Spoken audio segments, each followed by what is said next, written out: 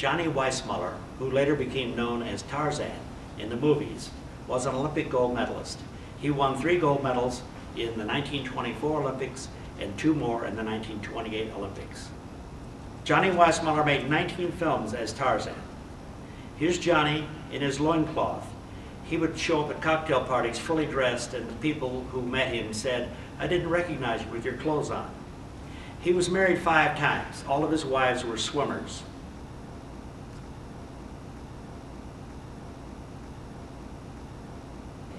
Johnny Weissmuller lived in Acapulco until he died at the age of 80 in 1984. He had a lifelong secret that he had kept that no one knew except his mother and his brother. His mother Elizabeth and his brother Peter. He was not a U.S. citizen. He was born in Romania and was brought to the United States by his parents at the age of seven months.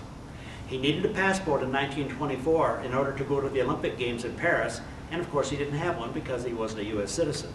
So his mother and brother came up with an idea. They went to Windber, Pennsylvania, where Johnny's younger brother, Peter, was born.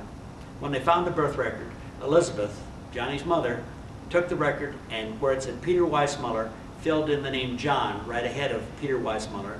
So it said John Peter Weissmuller, but the John was in a different colored ink, and different handwriting. They took that birth record to the passport office in Chicago, and Johnny was given a passport.